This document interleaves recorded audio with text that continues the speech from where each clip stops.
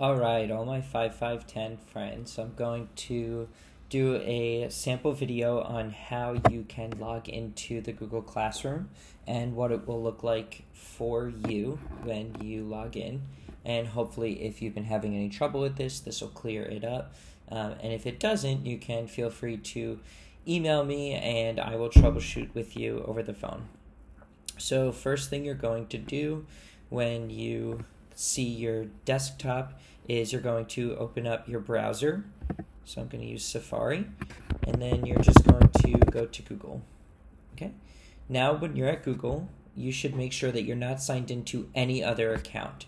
The way you see that you're not signed into any other account is you'll see this little blue sign in button. That means that no other account is open. If there are other accounts open, you can click on them. They'll be right here and click the sign out option and then when you go to sign in fresh, you'll have a fresh start. So I'm going to click sign in, and for now, I'm going to click on a a um, I'm, I, I'm going to use a, a student's account to log in. So Shimon. And for this, you have to make sure that you're using the Yorkville Community School email address.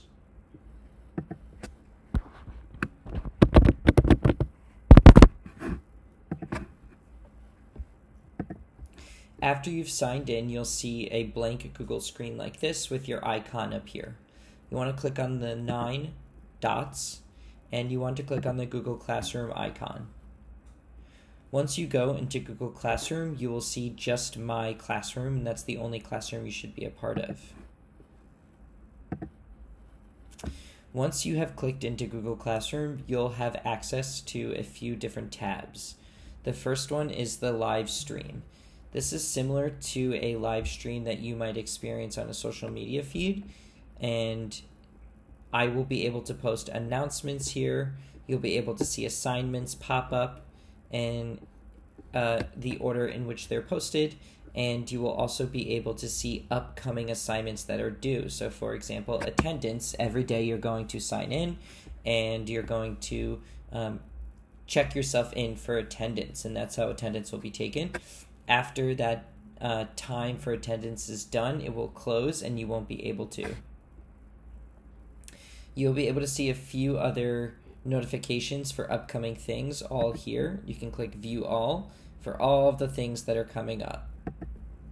If you get to a screen and you're not sure how to get back to the home screen, all you have to do is click these three little lines up here and go back to Mr. Aaron.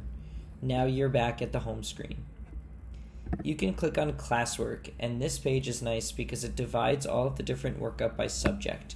So if you just want to find a specific topic in a specific subject, you can click on your classwork tab and scroll around to see what you're looking for.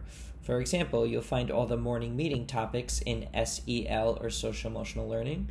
You'll find all read aloud topics in the read aloud section. Home of the Brave is our read aloud and all of our writing topics will be organized under writing. All of the new topics that we're going to be doing are going to be under this writing tab, unless otherwise specified.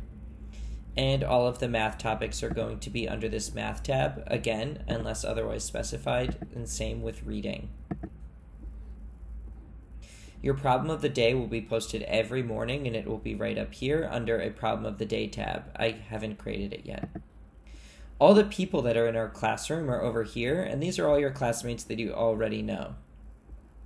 You cannot email or interact with your classmates here because we haven't activated the email feature for this Yorkville Community School account, so you don't have to worry about any of that. All of the teachers that have access to this classroom are over here, and again, you won't be able to email anyone because you don't have access to the email. However, if you do want to reach me and have me pass along a message or get in touch with anybody, my email will always be at the top of the feed.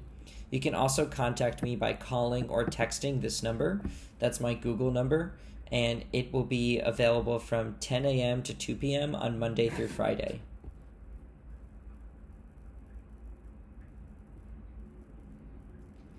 Okay, I think that's it. If you have any other questions, um, please feel free to reach out to me and I will be happy to answer them for you.